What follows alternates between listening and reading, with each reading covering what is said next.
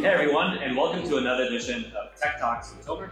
I'm Tomer, VP of Product at Stellar Development Foundation, and today we're in Madrid for Meridian, the annual Stellar Conference. With me is Mooly Sagiv, CEO at Certora. Hey Muli, how's it going? Fine, how are you? I'm doing great. I'm really happy to have you here with us. So um, I was looking through my emails and I saw that the first time we ever connected was in May 2019. It was a while back. Um, and back then you were still doing market research around smart contracts uh, and uh, in this industry, and you've gone a long way since, which is amazing. Uh, but before we dive into Certora, I'd love to learn a bit more about your personal journey. How did you end up in formal verification? Okay, that's a great uh, challenge and it's go a long time. So what happened, I started at the Technion and uh, I got actually fascinated in formal verification when I was still a graduate student. Unfortunately, I didn't have anybody who knows formal verification. But my advisor at the time was a fantastic guy. He told me, look, you are right, you're going to learn on your own and I'm going to help you. And that's what we did. We actually had people bringing from abroad. So Reinhard Wilhelm came to visit me, a lot of people. And I actually built this field in Israel. We later on I found out that Amir Pnueli was a Turing Award winner, actually did a lot of work before me, but I didn't even know about him. And we actually got to know each other after a long time ago. And we said, how come we? And we basically, when he's, he, he actually founded the field. He founded he, uh, a lot of things, temporal logic. But I actually ended up doing many, many of the works at this space. And actually, it was very interesting. I had sort of a weird career where I started, went to industry, and then I came back to academia. But I, I, I felt more and more interested in this space. So the interesting thing about formal verification is it, it feels like this used to be a very strong academic field, maybe even niche. And then, you know, the previous in, in the last few years, this seems to have exploded. Did you see this coming? Not really, not really. I, I came in a bad time. I came in a bad time. I was I was working in Israel, but for example, at least the, the funding in agency in the US when you would say you are doing formal verification, this is a case not to get the fund. But what happened is about, uh, I guess, about eight years ago or nine years ago, it changes. And all of a sudden you're saying formal verification and you're immediately funded. So the, the, the, the, the atmosphere really changes. It went uh, down, up, down, and then up again. Yeah. And how much of this is blockchain related? It's actually before blockchain. Blockchain is a big push, like it's before blockchain. I think distributed system is a big push for that. The fact that people found big things in distributed system, and the fact that it just became the techniques became more mature. People became more mature. Systems like Coq actually made formal verification. The fact that people are able to prove C compilers, and then people are trying to find bugs in them. The seL4 project in Australia that showed that you can build correct operating system that people have tried. So people actually have, have done in academia a lot of projects which were almost industrial. So there is the, the INRIA in France, so there's a lot of Microsoft research. They've built a lot of actually interesting stuff that influenced this space. And then, of course, came the blockchain. But even prior to blockchain, people have done a lot of interesting small projects which are very influential in this space. Now, you're saying that blockchain gave it a, a big push. Why is that? Like, what is it about smart contracts uh, that uh, you know jives so well with, uh, with, formal verification? Smart contract is probably the the best uh, application for smart for formal verification because you have small code. It's almost immutable. It's almost like your hardware in some sense. But unlike hardware, it changes it uh, quickly. So all of these things, you are basically this is this is changing your, the way you are doing. So you need these things. Also the fact that so much money at stake. And also if you have a bug, it's so hard to fix it. Whether your contract is immutable or mutable, it's so hard to fix it and whether you have to be a vote. So it's really, really hard. Right. And I imagine it also helped that smart contracts are like small pieces of software exactly. and they're also sandboxed in, in their environment, right? Exactly. They're small, they're sandboxed. And also it does also help that the people who are working with are fairly technical. So they are, they are actually able to to actually work on, on these things. And do you feel like uh, how how is the journey of like teaching engineers, software engineers, to be more formal verification minded? Like, do you find that easy, challenging? How's that journey been for you? I find it challenging, but I find it actually uh, unsurprisingly well. I find that actually when we teach now to, to, to Solidity developers, we see that some of them are so bright, we get them to see environments that we haven't seen even by academics. So we are seeing them thinking about properties. The, the, you see that, for example, people have tried to use formal verification in hardware, and they web companies, but engineers, especially in thing, they didn't want to touch the, the formal specification. They say, okay, I'm going to pay you and you do the formal specification. But here you can see engineers who are contributing formal specification, which is amazing. So you you believe that every software engineer has the potential to write their own spec, basically. Exactly, exactly. And I think it's the best that they write the spec, and sometimes it's better that they write the spec before they write the code. Often they, we find we go to customer and we tell them, we, we work for them. We do this audit and then we say, here is the property and it's violated. It's just, oh, why didn't you tell us about this property before we wrote the code? Yeah. if we only knew this property, the code would look much different. So yeah, so writing the spec as early as you can is the is the is, is interesting thing. Of course, not always you can, but when you can, think about your spec. Think about what you want your code to satisfy and how is it interact with the other contract Think about, about that and think about the attack surface as early as you can before even you can write the code. Okay, so let's let's dive a bit deeper into Certora. Obviously, uh, the world has changed since uh, that initial email in, in May 2019. Um, can you tell us a bit about what's unique uh, about Certora in this world of formal verification smart contracts, um, and how you became so popular and some of the biggest projects out there using you guys? Yes, yes. So I think it's a mixture of people technology, uh, professional service, all, all kind of things, connection. Of course, we probably should acknowledge VCs that were telling people use Certora. So, so the, a lot of things happened. At the beginning, we had this tool. It was not really working. It was sort of compiling the, the code into a, a formula, but it was sort of a very simple technique and we tried it. We actually worked with Compound, which was one of the first team we worked, and we worked after they completed the best audit. And the tool found a bug, and it found a critical error. And, and they tell us, oh, how we get this tool work on all your code? We said, we have no idea. so they uh, we said, so get it to work. We said, you guys are not paying us. That's what we can do. So they, so we basically didn't help them. Of course, they, we found this one bug, and then they launched the code, and found somebody else found a huge error in the code that we didn't verify. So they ask us how you get this work on all the code. And that's what's tricky for us. We ended up developing a lot of techniques.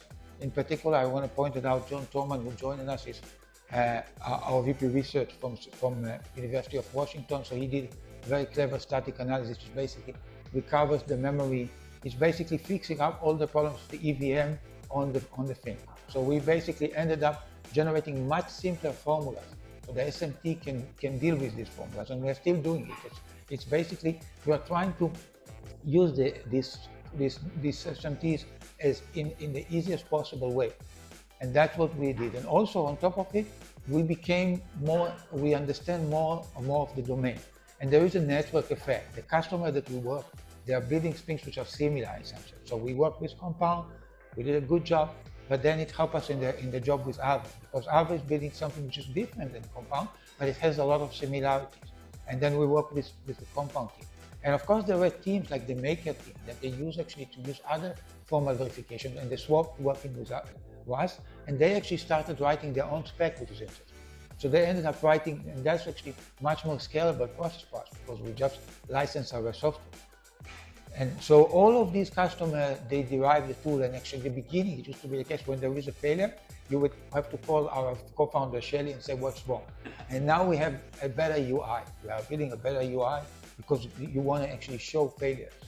Mooly, I want to zoom in on one thing that you said around the EVM. You mentioned that you had to learn, uh, you know, a lot of the issues around building for the EVM. And I'm curious how much of the issues and bugs that you see relate to the EVM specifically versus kind of like, you know, more general code issues? That's a great question. Uh, I'm probably not the person to answer it. I think the technical people on the team, we have a team with uh, 45 amazing, amazing engineers. So my guess is that it's mixed. There are some things which are uh, specific to the EVM, also not only to the EVM, to the way the Solidity compiler generates the EVM code, which makes things very hard for many things. Uh, the way memory is handled is, is crazy that it's basically, but some of it is actually something that I imagine uh, you have in Soroban. For example, I'm, are you using bump allocator? I don't know. Are you, this how you, how you are using, you are, yes, so you're going to need us to. So we, we have methods to deal with bump allocation that people, we, I didn't know when I, in academia, I didn't know this is such a big, big issue. But it's a big issue, bump allocator, and reason about bump allocators. Got it. So we need to know something like aliasing between variables. And that's actually something that we developed. where I told you that this is something that we said that John did, which made the tool actually working, is reading about bump allocation. So some of the things that we did, we say it's EVM, but it's actually not EVM. Yeah. It's the way the compiler uses the EVM. Yeah. So we actually like we uh, there is an allocator available, although Soroban really uh, puts an emphasis on like hosted types. So for the most part, contract developers don't actually need uh, to touch the allocator itself. But that's super interesting. I imagine that things like reentrancy attacks and just like dealing with like you know uh, uh you know the math mathematical semantics of uint 256s is probably also a lot of the issues that you see. Exactly. So so nonlinear um, arithmetic is hurting us from day one. It's still hurting us. It's still hurting us. We have a lot of techniques and we are developing new techniques, but each time you have even a new AMM. It's hard for us to reason about. So these are, so yes, these there are fundamental issues which are almost language independent that you get to see. Got it. Um, so, you know, you mentioned Soroban, uh, and we just announced in Meridian that we're collaborating on bringing Soroban support to uh, the Certora service, is super exciting. Um, and if I understand correctly, this is the first WebAssembly uh, language that will be, uh, or the first WebAssembly runtime that will be supported in your stack, right? I think it's it's two things. It's the first WebAssembly, and we'll also have the first sort of support for at the moment when we have, for example, in Solana, when we write specs, we write it in Rust. But I think here we want to develop our own language like CVL for writing the spec. Right. So we want to decouple the specification from the code because specification sometimes is harder than the code. So we want to be able to reuse specification between different protocols and between different versions of the code and integrate it into CI. So Got that's it. what we want to do. And I'm curious, what do you think are some of the you know, challenges? What's uh, you know like what's the opportunity with working in WebAssembly and Rust versus uh, you know the current EVM stack? I think for us it's a great idea because it opens us to the world of, of WebAssembly and Rust it makes us in some sense a company that's not just addressing solidity, it's making us like a, much larger potential uh, uh, teams that are working on, on Rust and using this technology to secure their code. And it's also uh, help us sort of integrate more tightly with the compiler because maybe there are things that the Rust compiler can tell us about ownership and things like that that will make our aliasing analysis easier to, to handle. So we can actually, we can propagate information from the compiler to the WebAssembly and then from the WebAssembly to us, to our internal representation so we can reason about it. Awesome. Yeah, and we're super excited to have this. I think we saw Brian talk about fuzzing yesterday and we're building up a toolbox for testing and uh, Certora sounds like a, a really great addition to that stack. Correct. And we, I think I told you, we will use Brian's tool initially. We want actually try to understand these are very related things.